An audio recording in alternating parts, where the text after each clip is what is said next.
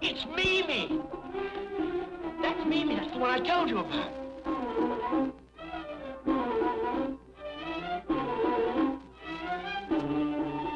It's a matter of taste, I suppose. Never like that.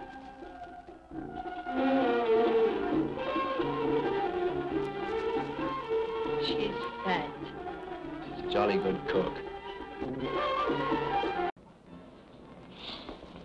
Oh! Tommy. Oh, Mimi, darling, it's good to see you again. I thought I'd never catch up with you. I've been trying to phone you all day long, but some comic at the other end kept giving me a volley in Lebanese. Impossible. I have no telephone. What do you mean, no telephone? I've got your number written down. Darling, I've got it here in the book. There we are, Mimi, 382436. Silly boy. You don't remember?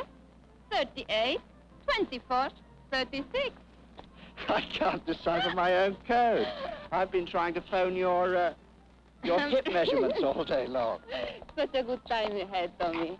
Uh, but no more. What do you mean, no more? Darling, I'm here till tomorrow. No more, Sherry. Look. You're not happy for me, Tommy? Oh, yes, congratulations. I'm delighted. Bye-bye, Tommy. I must go dance again. Bye-bye.